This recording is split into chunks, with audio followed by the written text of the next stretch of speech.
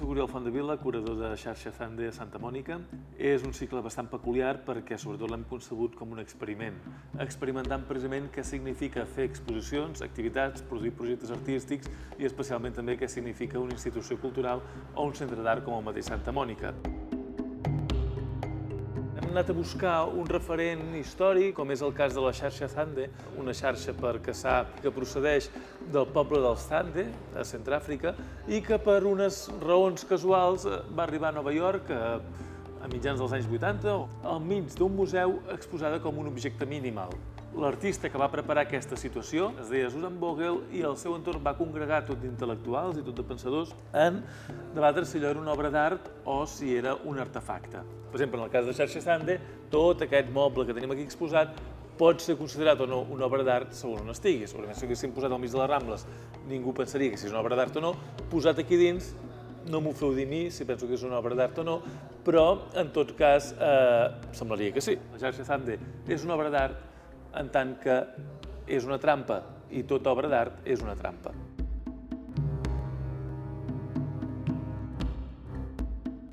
On és el poder de l'art? En uns objectes meravellosos que de cop posen en circulació tot de gens al seu entorn degut a que queden fascinats per aquest objecte?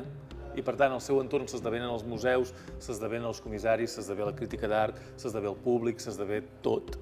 O és justament al revés, que l'objecte per si mateix no té cap sentit, no té cap raó de ser, sinó és que hi ha tot unes trames socials, contextuals, etc., que es munten al seu entorn i decreten que allò és art i ho certifiquen. Precisament aquests desencaixos o les possibles correlacions pensem que és allà on s'està jugant realment el poder de l'art.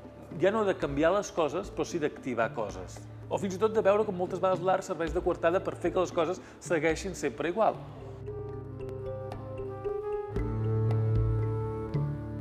Clar, fins ara la gent es girava, veia això, i hi ha alguna més, dient, no aniré a veure unes prestatgeries carregades de televisors.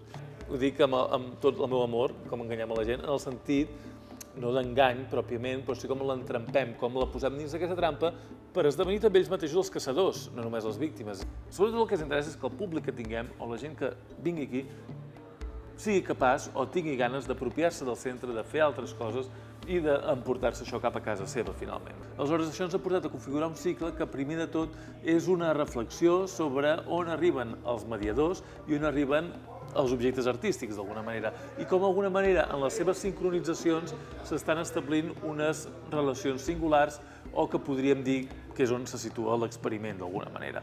No ens interessa tant arribar a dir si això és art o si no, sinó entendre com funciona l'art com funcionen els agents que circulen a l'entorn de l'art i com posen en joc les institucions que presumptament es dediquen a la gestió de l'art.